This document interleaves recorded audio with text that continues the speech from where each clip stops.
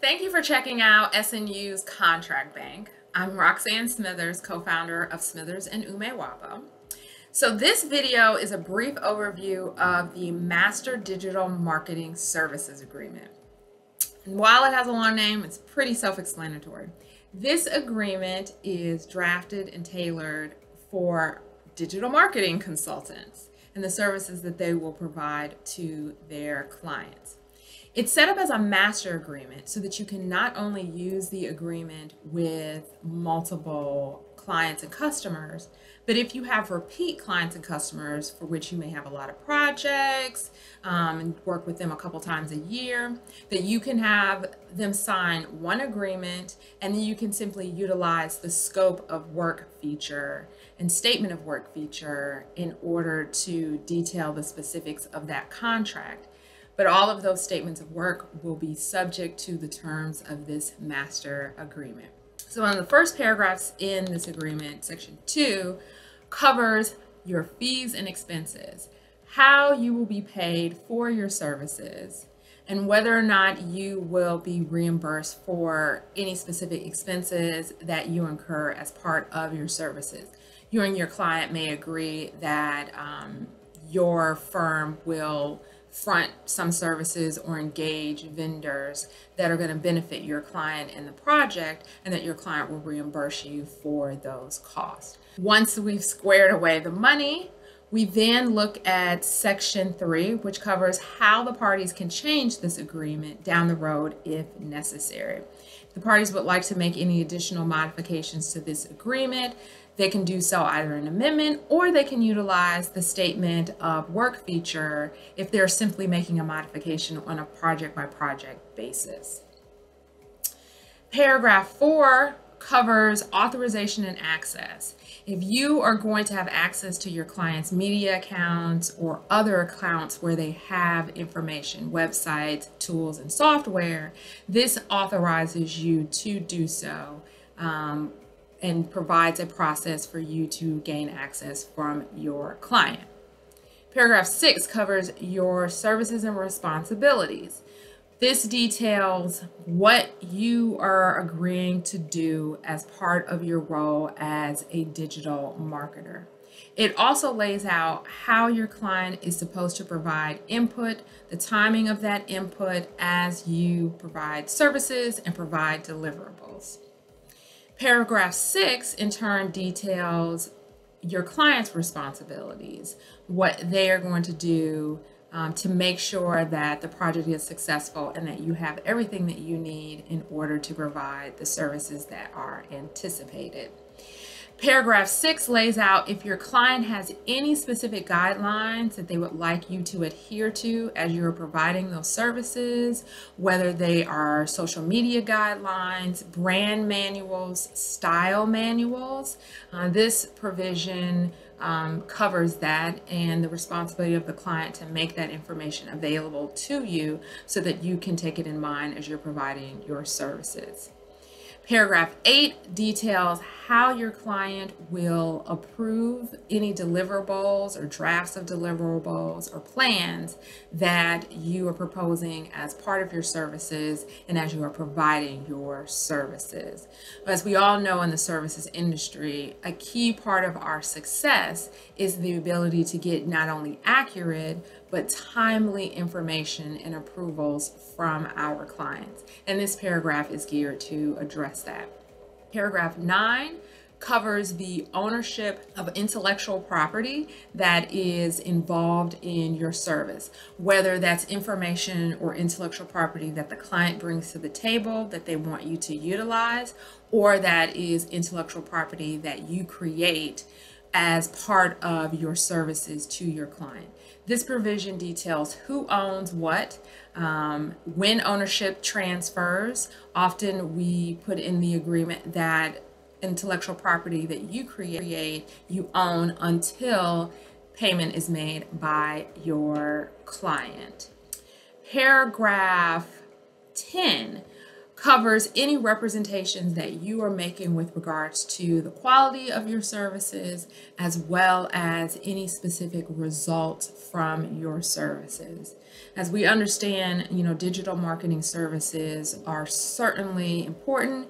It is a practice, it is an art as much as it is a science. And oftentimes there are many factors that are going to play into how a campaign may resonate with the public and whether or not that campaign translates to specific engagement, specific traction, or specific revenue for your client.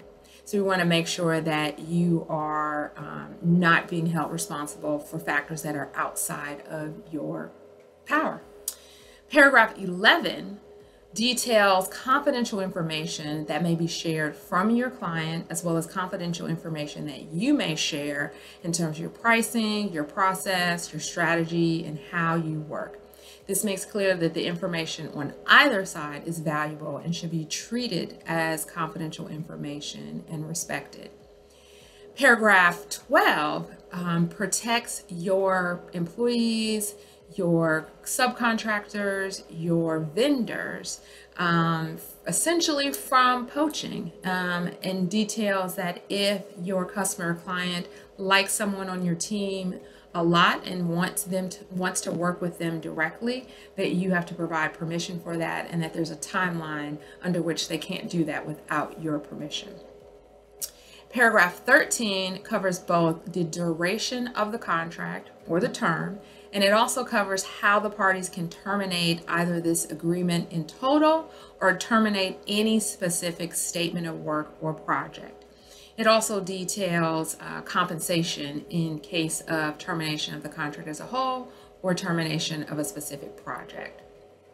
Paragraph 14, limitations of liability, puts a cap on either the dollar amount or the type of damages for which you can be held liable or responsible if your client suffers a damage or a loss um, that is a result of your uh, wrongdoing or some issue with the contract.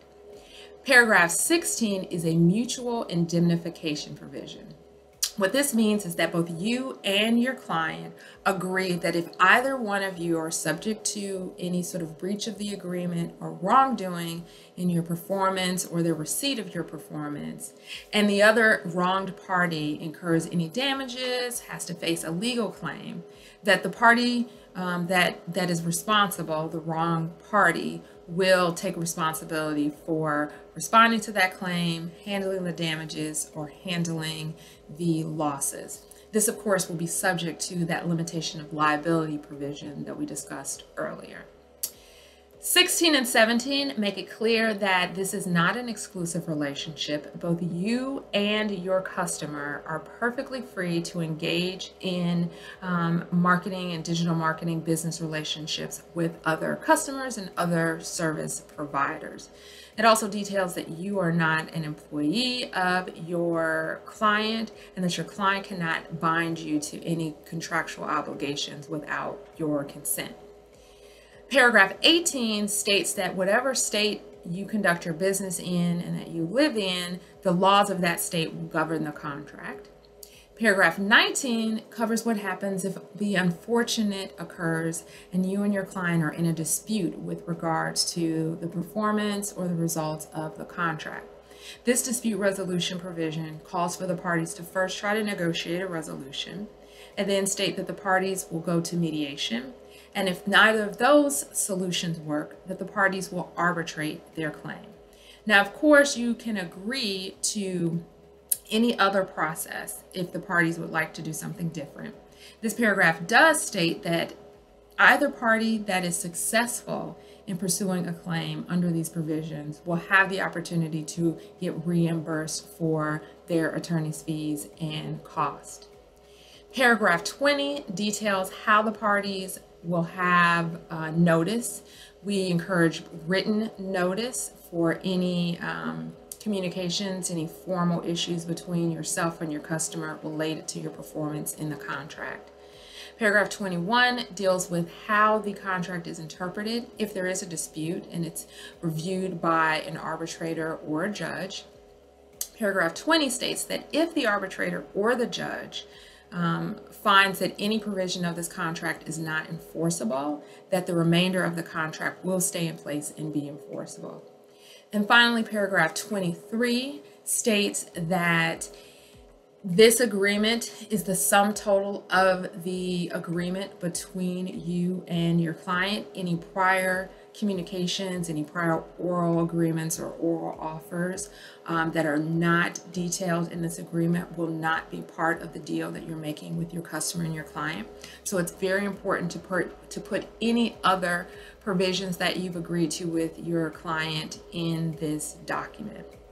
And then finally, of course, you will have that statement of work, which is a form that you can use over and over again for multiple projects with one client or with multiple agreements with future clients. It details the a description of the services, the deliverables that you are going to be providing to your client, the frequency of those deliverables, and the time frame for that performance. The statement of work details the specifics of how you will be paid. You have an option for hourly, a flat rate, um, a re reoccurring payment, whether weekly or monthly, or uh, some other timeline that you'd like. There's also an opportunity for bonus payments if your clients and you agree to some sort of incentive for um, engagement for your work. You can um, negotiate a, a bonus um, payment based upon that engagement. This uh, statement of work also gives you an opportunity to require a retainer or upfront deposit from your client that you can bill against for your services, when that retainer is due, uh, and what percentage of work has to be done um, for that first deliverable payment. This agreement in the statement of work finally also details when payments are due for reoccurring services and when payments are due for bonuses. Um, you guys can discuss in detail in here any anticipated expenses for which you will be incurred and also what your hourly rate will be for any work that is beyond the scope that is agreed to in this statement of work. So as we say, this digital marketing services agreement is um, pretty thorough and is really intended to make it easy for you and your clients to come to terms on your services and to protect your interest as you move forward with your business. If at any time you'd like additional information about this agreement or other help with your business, you can always schedule a consultation with one of the attorneys at Smithers and Umewabo. And we just want to thank you for coming to the Contract Bank.